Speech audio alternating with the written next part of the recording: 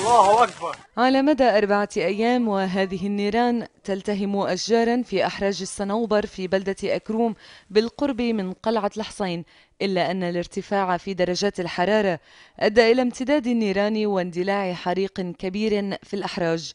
فرق الجيش والدفاع المدني كما الأهالي لم يتمكنوا منذ صباح الأحد من إخماد هذا الحريق بسبب وعورة المنطقة وشدة الرياح.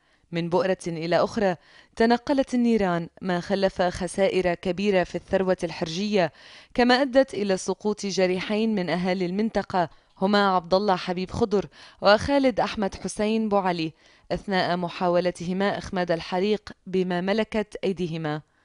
وبعد أن وجه رئيس اتحاد بلديات جبل أكروم علي أسبر نداء عاجلا بضرورة إرسال طوافات عسكرية أقلعت طوافة تابعة للجيش من قاعدة الإقلاعات الجوية وبشرت عملية إطفاء النيران. من حوالي أربعة أيام اندلع حريق بمنطقة أكروم محلة الحصين. وجبل عبارة عن جبل يرتفع حوالي كيلو متر عن آخر طريق توصل مشكلة الحريق أنه ما نقدر نوصل له بسهولة على اعتبار أنه الطريق توصل لكعبة وبالتالي ما ما بتقدر توصل أي وسيلة نقل.